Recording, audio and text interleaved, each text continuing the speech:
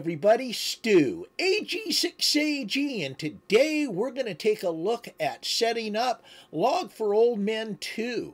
Now, this is a really, really quick setup. It's not going into any super big detail. We're only doing the bare minimum to get the logging software up to where you can enter uh, QSOs in that logging program. Now, there's lots of other things that we can do with this. It's a very feature-rich logging software package.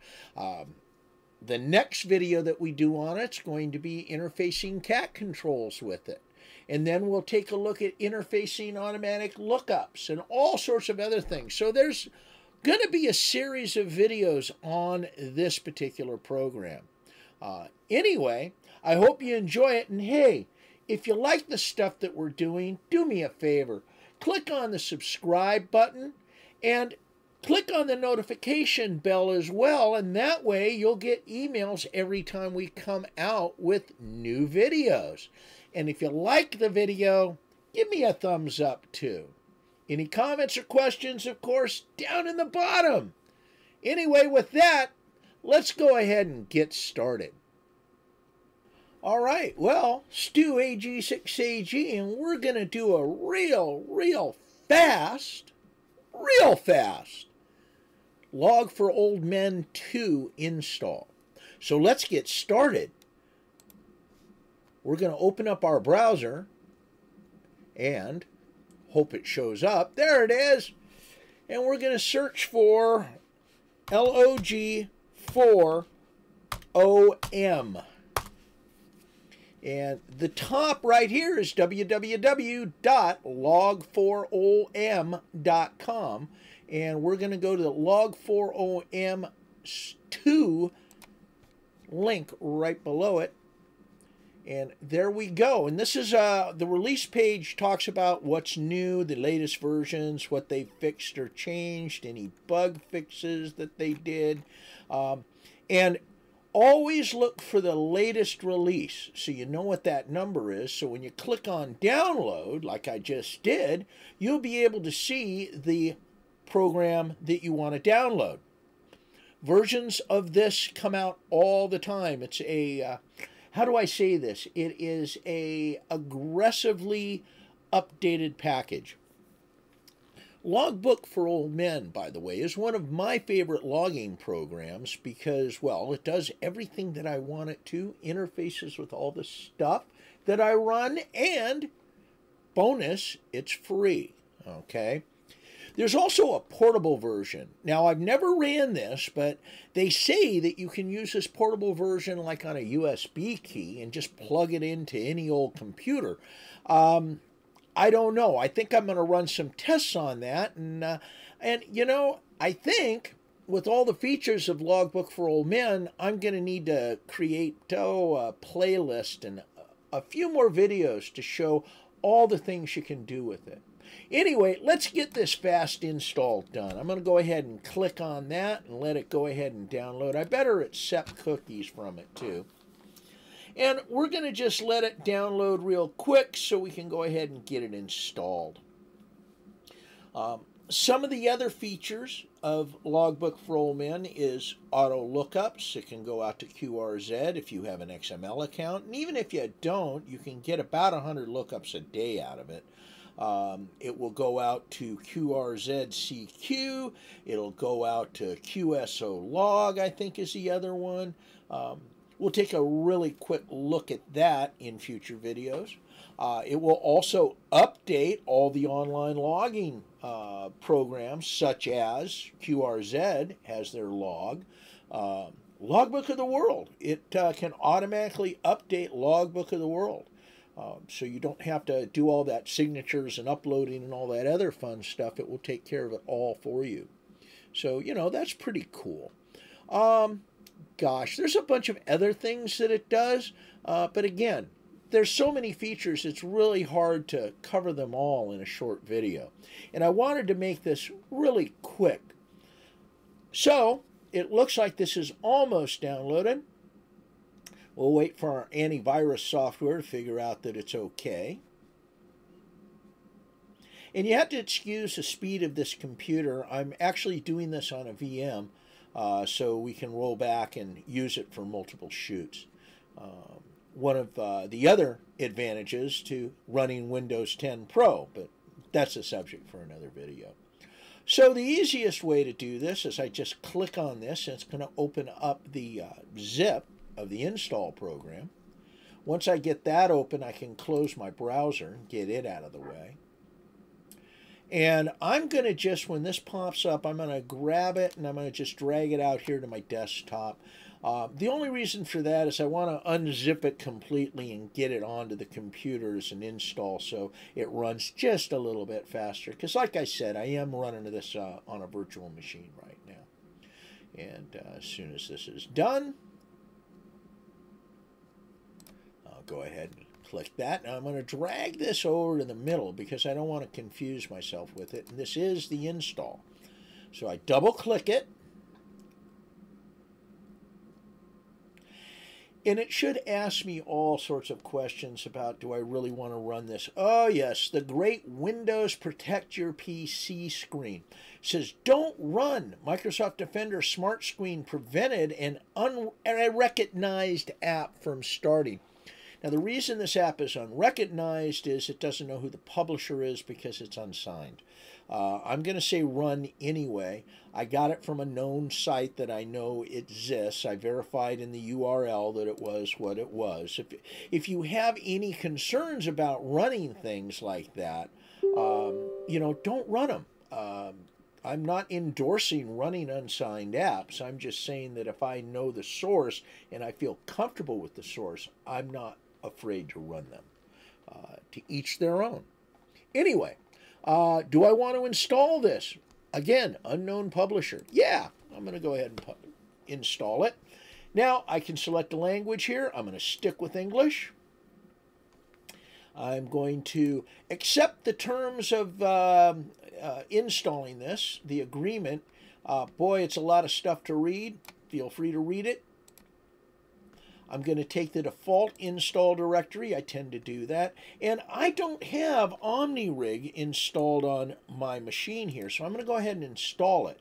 Uh, it'll do it automatically. Uh, it's bundled with the package. OmniRig is a cat control system that will interface with your radio, and it's kind of neat because uh, programs that support OmniRig, such as HDSDR uh, and um, WSJTX, which support OmniRig, are allowed to share that rig across multiple programs, which is very, very helpful.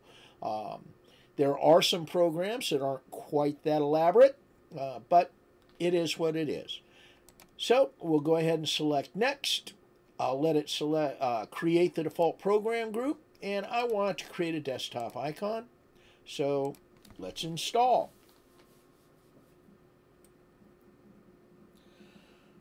So there are a lot of different packages out there that you can actually install on your uh, system for logging. Uh, you've got um, Logger 32, you've got um, oh uh, N3, I can't remember its entire name. Um, these uh, some are free, some are pay for play. Of course, there's HRD, right? Ham Radio Deluxe, which uh, a lot of people run and really love, has everything built into it. Um, again, Log for Old Men does everything that I want it to do. It may not do everything that you want it to do. And again, I can't I can't argue a price of free. All right, so let's go ahead and hit next. And uh, I am going to go ahead and finish the install and I'm going to launch it, but I'm not going to run the OmniRig setup. That's something that we'll do at a later date.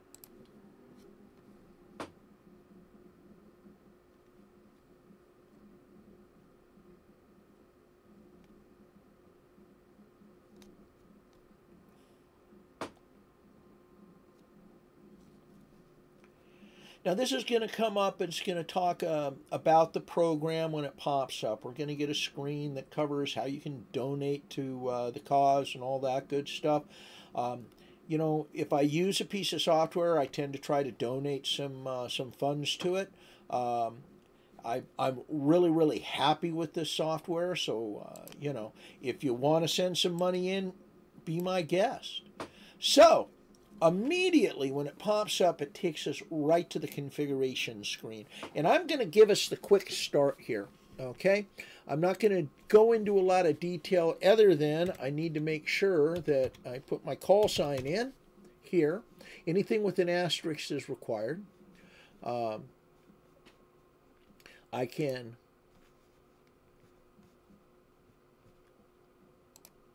pick my station country.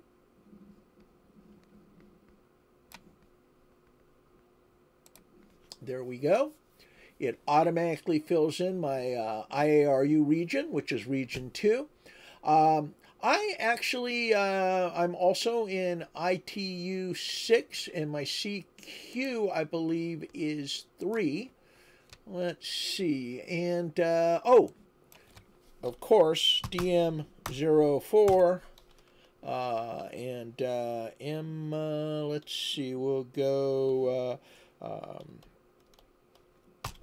4 and E. I'll pop in my operator call sign.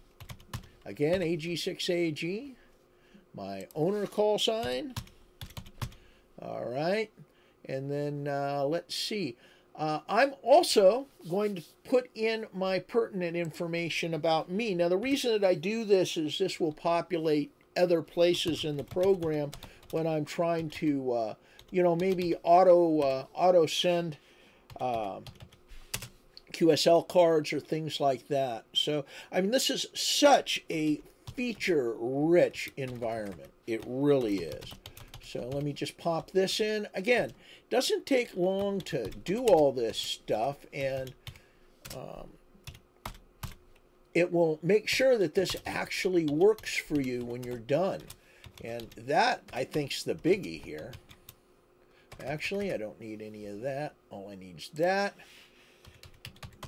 that, California, and of course my county is Ventura. All right. And let's see. All right. That completes that. I can go ahead and uh, save it. And as a matter of fact, the only other thing I have to do to get going is I need to go down here under database. And I am going to create a new database. And this is where all of my QSOs are going to be stored. Now if I forget to do this it's not going to take any of my QSOs so I want to do that. All right? And with that we are going to create I'm going to create a folder here under my documents directory so we'll just right hand mouse click, go new, and create a folder. And we'll call it log for OM2. There we go. We'll go in there and I'm going to call this my daily log. There we go. And the database has been created. All right, so my database is all set up. Now I'm going to go to user configuration and right up here at the top, I've got a configuration right here and it has an automatic ID. I am going to change the description to daily. And then right here, I'm going to make this configuration active. And I'm going to save it. And I'm going to save and apply. All right. So let's see, and it's asking me about access to the network. I'm going to allow it access to both private and public networks. And there I am. Let's get this up to where we can see it. That might be a little big. I'll grab the corner here. All right, so this is basically the screen that you would start with offline because I'm not hooked to anything, right? But I'm on my profile daily. And down here, it tells me that I'm on my daily log. So I can begin to log contacts. If I click on F7, it's going to show recent contacts. Uh, let's put in W6KME. And I don't have any lookups set up, but eventually I will. Uh, I can certainly set my band and everything else. Uh, and if I want to save it, all I got to do is, oh, uh, data missing. What does it want? Oh, I think it wants the band here. 10 meters uh, and uh, upper side band. Let's see if it takes it now. There we go. All done. Just that easy. All right. So we've got an excellent start here and really happy we had the opportunity to play with this. There's our entry right there. Now, if you have any other questions or whatever, make them in the comments. We'll continue this with setting up cat control and some other features to this program. But those are the basics, folks. You have a functional logging program now. Now you just got to make it perfect. Well, I know that was kind of minimal, but I promise we'll do more with this. We're going to look at OmniRig setup next, and then we'll go ahead and start interfacing it with other programs. So hang tight, and we hope you enjoyed the video. Oh, and if you did, please click on subscribe, and we'll get emails out to you every time we have a new video out. 73 for now. This is Stu, AG6AG, hoping to hear you on the air.